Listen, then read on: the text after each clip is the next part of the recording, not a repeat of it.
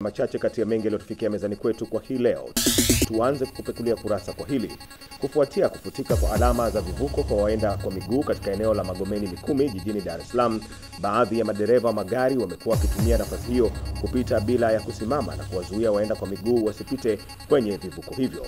Wakizungumza na Kurasa leo, baadhi ya wakazi wa jiji wameishauri halmashauri ya jiji la Dar es Salaam kuchora upya alama hizo ili kuokoa maisha ya watu ambao wanagongwa na magari kutokana na madereva kutosimama. Madereva na wenyewe wanakurupuka tu, hawaelewi hapa ninafanya nini, hata kama alama haipo.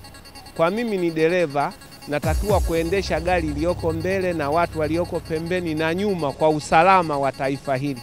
Tumekuwa tukipuuza taratibu zilizowekwa, tumekuwa tukipuuza alama zilizowekwa, tunaleta maafa katika nchi hii. Kwa kila mmoja anaajibika kukumbuka kwamba tunahitaji msaada wa alama, tunahitaji msaada wa uangalifu dereva akiendesha, tunahitaji kizazi kinachokuja kisiwe kinalazimishwa kupewa adhabu isiyo halali. Kwa jumla kwamba naona alama kama imefutika futika hapo, ingeongezewa zile alama zingekolezwa, alafu nao ungekuwa napewa semina, unaona kama kwa miezi kadhaa wanaitwa, unaona au wanakaa matrafiki muhimu sana, maanake madereva wote wanaheshimu matrafiki kuliko kitu chochote. Unaona, mimi nadhani labda ya busara ingekuwa ni mawili tu, ifanyike mistari ile barabarani ikolezwe ile ile punda nini sijui, unaona. Lakini pia kwamba wangekuwa wanapewa semina madriver wasiachiwe, yani wasiaminiwe hivi hivi tu, maanake wengine wahuni wahuni ambao hawajitambui, unaona, ndio wanakuwa hawajali sheria au vipi? Tuendelee na Kurasa. Shirika la wanawake waliopo kwenye jitihada za maendeleo wa JIKI kwa kushirikiana na mfuko wa ufadhili wa wanawake WFT wametoa mafunzo kwa madereva wa mabasi, madereva wa bodaboda na makondakta wa daladala wa jijini Dar es Salaam ili kuwaepusha kufanya vitendo vya ukatili wa kijinsia katika vyombo vya usafiri hasa kwa wanafunzi wa kike na wa kiume.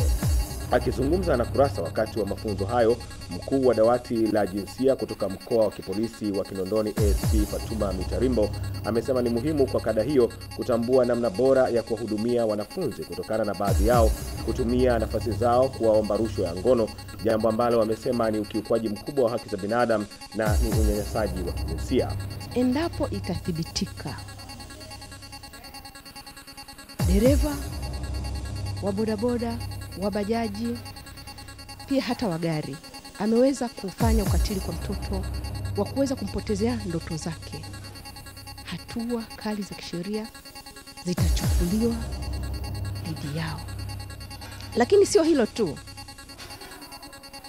kwa sababu hata wa, uh, wanafunzi wenyewe ni waalikwa na ni wahusika pia. Nimekuja kuwaeleza wajiamini, wawe na maamuzi, wakatae Tumeona kuna umuhimu kwa sababu hawa ni wasichana ambao wanakumbana sana na vitendo hivi vya ubakaji, na ubakaji huu unatokana na rushwa ya ngono ambayo wanakutana nayo wanapokuwa safarini. Wanapohitaji masuala ya usafiri, mara nyingi wanakutana na vitendo hivyo ambavyo vinawasababishia kutokutimiza ndoto zao na ndio maana tumefikiri ipo haja sasa ya kuongea na madereva, makondakta na madereva wa bodaboda ili kuona ni jinsi gani tunashirikiana nao katika kuwalinda watoto. Tumalizie Kurasa kwa hili. Kampuni ya mawasiliano ya simu za mkononi nchini ya Tigo leo imetoa zawadi mbili kwa mshindi wa kitaifa na yule wa kanda ya Pwani walioshiriki shindano la kupata wakala bora wa Tigo Pesa hapa nchini.